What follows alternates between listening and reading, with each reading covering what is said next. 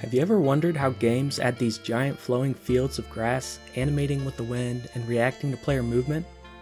Or giant lifelike schools of fish? Or even massive crowds of people? All this without a hitch in performance?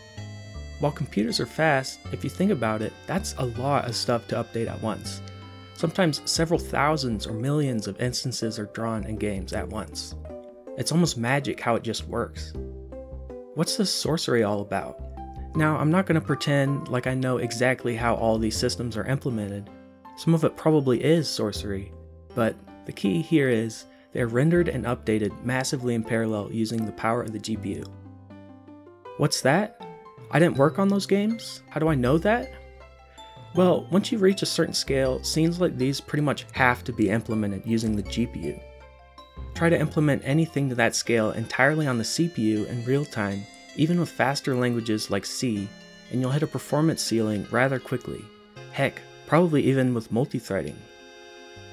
If you asked me to make a scene with a field of grass swaying in the wind when I was first learning programming in Godot, I'd probably try making thousands of blade of grass nodes controlled by GDScript, spawning them in randomly.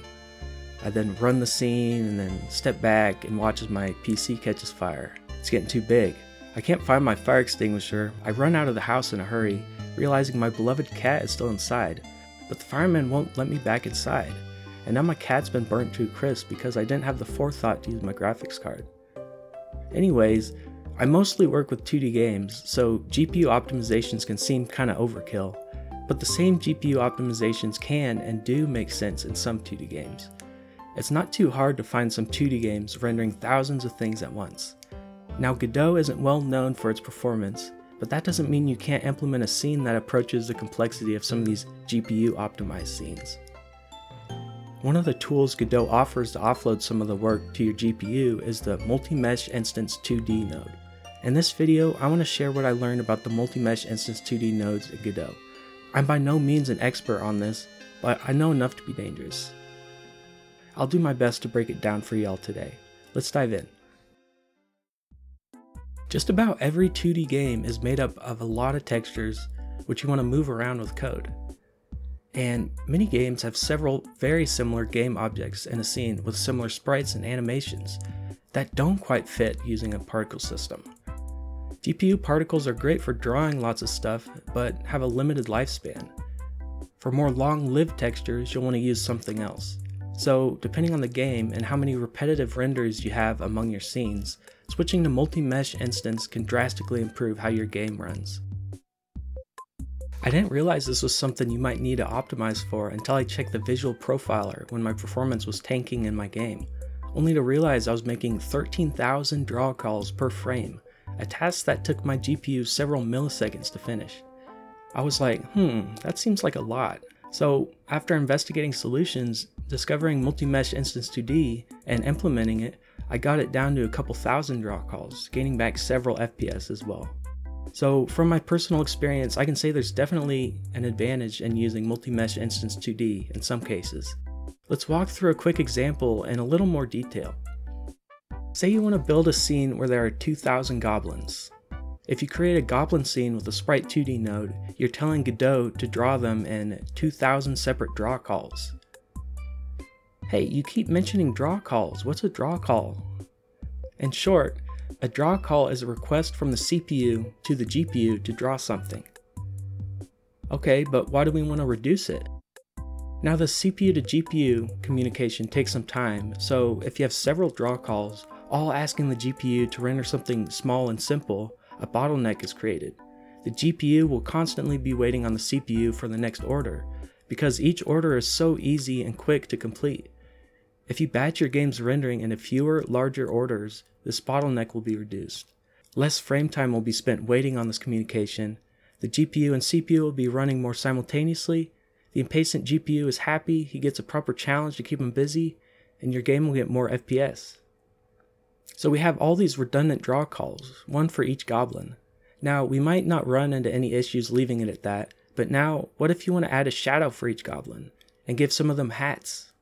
Draw the goblin, shadow, and hat sprites separately, and you're now up to 6,000 draw calls. You could merge possible art combinations into a single sprite and get back down to 2,000 draw calls, but that can become tricky to manage. Oh wait, hang on, I just got a call from my game designer. Yes? Mm-hmm. Okay.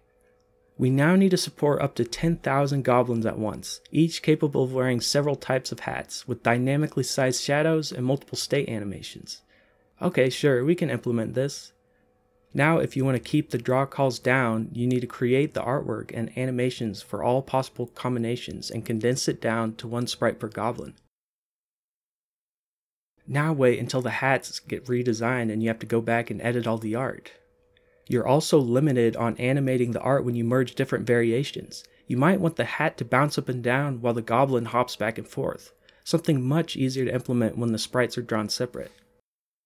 My point is, we found ourselves in a pickle. This setup isn't very easy to work with. It's not performance, it's not scalable, so it needs a refactor. But before we try to optimize, let's look at why we're in a pickle. Now the scene is going to run suboptimally for a few different reasons. You are adding a new sprite node for each different thing you want to draw. This isn't scalable, and for more reasons than the high draw call count. You might think, but they're not doing much. They don't have any scripts attached to them. But even empty nodes will bog down your project. The more crowded your game's scene tree is, the slower it will run. Don't believe me? Sounds crazy? Check this out. The only code that runs here is at startup and adds 1 million node 2ds to the scene tree. Those node 2ds are literally sitting in the tree doing nothing. But Godot still needs to manage them in the scene tree or something like that, which in the end is costing us performance needlessly. We're down to 18 frames per second on my i9 14900K with a project that does nothing. 1 million is a lot, and probably no one will have anywhere near that many nodes in their game at once. But I still think this test shows that node count, even nodes doing little to nothing, have a hidden cost to performance. The second reason is that each goblin has its own animation player node, even though they're all running essentially the same animation. Now, you could try to have them all share the same animation player, but I'm not sure that this is really possible in a convenient way. Let me know in the comments if you've had any success getting this running though, because it might actually be a valid option for some projects. You could also try tweens to animate them, but you may run into similar performance issues here. Now before we fix all this, I want to talk about something a little different. Figuring out the best tools and setup for the unique requirements of your game can take a good amount of troubleshooting, which can be arduous and time consuming. It helps to have a strong base of problem solving skills, which can quickly be built up and strengthened by using Brilliant, the sponsor of today's video. Brilliant is where you learn by doing, with thousands of interactive lessons in math, data analysis, programming, and AI. Brilliant is unique in that it helps you build your critical thinking skills through problem solving, not in your typical memorize and regurgitate learning strategies. Each lesson not only builds knowledge on specific topics, but also helps you become a better thinker. Brilliant is fantastic at helping you build a daily learning habit, a powerful routine that compounds throughout your life. Whether you're trying to grow personally or professionally, Brilliant helps you reach that goal with just minutes a day. If you're like me and wanting to improve as a game developer by strengthening your math skills, now's the perfect time to try Brilliant. Brilliant has a vast selection of math courses and lessons, including algebra, geometry, and also vectors, a recent addition to their expanding library. To try everything Brilliant has to offer for free for a full 30 days, visit brilliant.org slash deepdivedev, link in the description, or scan the QR code on screen. You'll also get 20% off an annual premium subscription. Thanks again to Brilliant for sponsoring this video. Alright, now back to the video. So first we're going to delete all our sprites and animation players on our Goblin node. We hop over here to the main scene tree where we'll make our first multi-mesh instance 2D. Then we add our goblin texture to it. We gotta add a multi-mesh resource to this. And you have to tell it what shape each instance is using a mesh. Here I'm using a quad mesh because they're just basic rectangular textures. So we set the size of the mesh here, and you'll notice that Y is negative. If we don't have it negative, it'll actually draw upside down. That's because positive Y points down in Godot. We also have to set the instance count and the visible instance count. Those are pretty self-explanatory. Okay, now that that's all set up, all we need to do is tell our multi-mesh node where all the instances are at. Let's start by updating our Goblin script to tell the multi-mesh where to draw the Goblin using set instance transform 2D. Okay, cool, we can see the Goblins are drawn like before. Now let's do the same thing with the hats and shadows.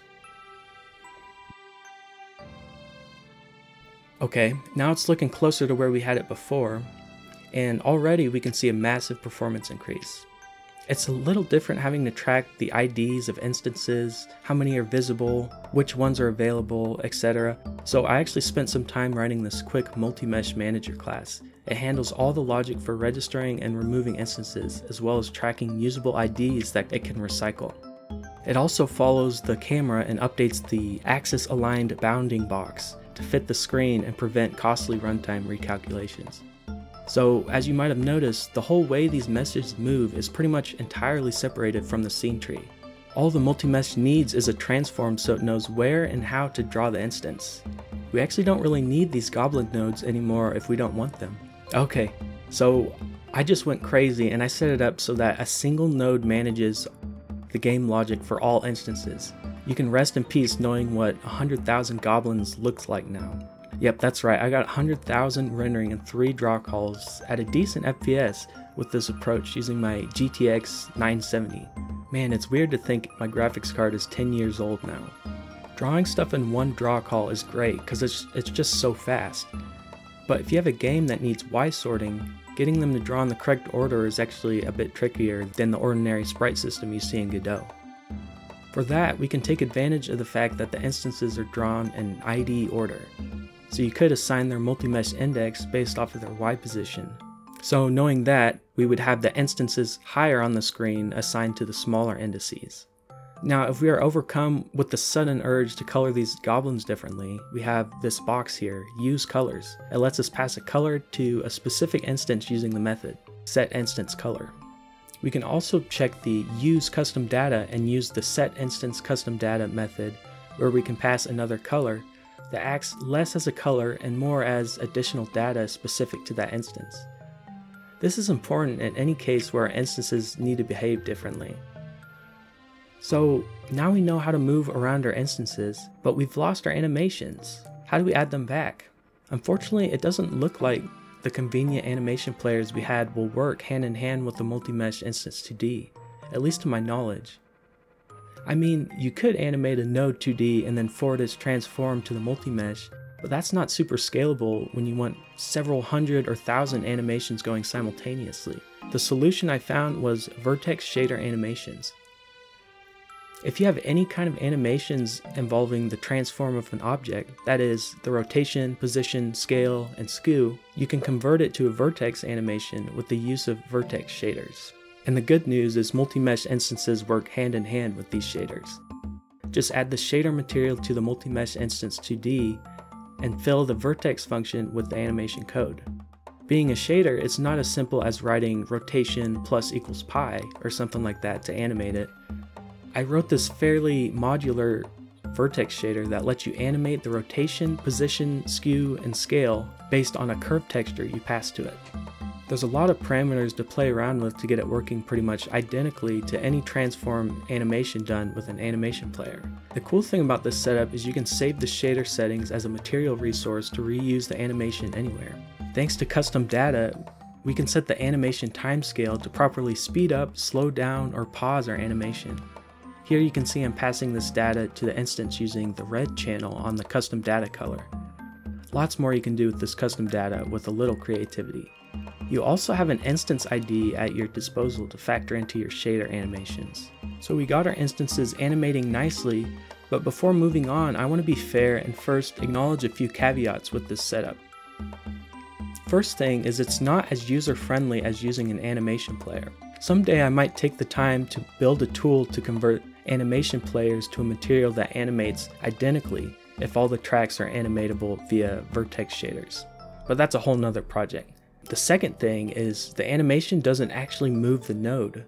What I mean by that is the vertices are all stored on the GPU only, and the Godot nodes aren't going to know about them like they would if you animated with an animation player. So say you had a physics body at the same position as your mesh instance, but the vertex animation has it jump across the screen, the physics body isn't going to follow suit, and I don't think it's possible to retrieve the transform back from the vertex shader. I try to make the animations not move too far from the origin, so they don't desync from the node or physics body's true position. If this sounds like a little extra work, you're not wrong, but man, I was so happy with how well this one worked in the end. It takes a bit of tweaking the parameters, but it's not too hard to replicate the movements done by an animation player, just without the extra overhead. To be honest, having to replace all my animations with a shader was kind of daunting at first, but GPU animations are just so fast, it was so worth it. I'm probably going to replace a good chunk of my animation players with this. But what's up with this hopping nonsense? We want sprite sheet animations. Well, the good news is you can use a simple fragment shader to switch between frames of a sprite sheet. This should get it looking like we had it before. I've already gone ahead and wrote a simple shader for just that. I've added it to the same material that has a vertex shader animations. This shader is simpler than the last, but in short, it's snapping the current frame to a cell in a sprite sheet by scaling down the UV to fit that region. All you have to do is set the multi-meshes texture as your sprite sheet and set the row and column count in the material and it just works. Pretty cool, huh? You could expand the shader to allow passing a curve texture to set the easing if you want to try other interpolation types besides linear. You could also support multiple animation states utilizing the custom data for each instance. There's lots of potential with this one. There are some caveats with this fragment shader as well. Similarly to the vertex shader, our animation setup is not as full featured as animation players or trees. So at last we have everything we need to make our game work as designed, running at a reasonable frame rate. It's pretty incredible what you can do with these multi-meshes. Now, there's a lot more you can do with these that I didn't cover in this video. For example, like you could use pretty much any mesh with this. There's also the multi-mesh instance 3D node that you can check out that I assume works pretty similarly to the 2D one. But yeah, that was a little dive into the multi-meshes and Godot. That's all I got for now. I hope you guys enjoyed. I'll see you in the next one. Take care.